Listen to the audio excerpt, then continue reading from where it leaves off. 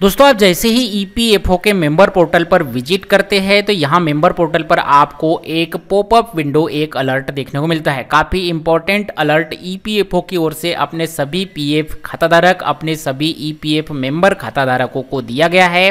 जिसे जो है आपको यहाँ पर ध्यान से समझने की ज़रूरत है। जिसमें ईपीएफओ ने इस बात को बताया है कि यदि आप एक पीएफ खाताधारक है तो आपका यूएनए नंबर और पासवर्ड हैक हो सकता है। यदि आपका यूएनए नंबर और पासवर्ड हैक हो गया तो आपके पीएफ अकाउंट से यहाँ पर जो है अमाउंट विड्रॉल हो सकता है और आपका पीएफ अकाउंट भी खाली हो सकता है।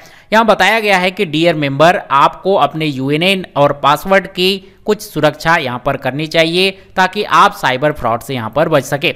इसके लिए आपको अपने कंप्यूटर पीसी में एक एंटीवायरस यहाँ पर जो है रखना चाहिए, जो कि आपके कंप्यूटर या पीसी को हैक होने से, स्मार्टफ़ोन, लैपटॉप को हैक होने से यहाँ पर जो है बचा सके। अपने सिस्टम को हमेशा अपडेट आपको यहाँ पर रखना चाहिए, साथ ही आपका जो पासवर्ड है वो आपको स्ट्रॉन्ग यहाँ पर बनाना चाहिए, यानी कि इजी पासवर्ड आमतौर पर लोग बना लेते हैं।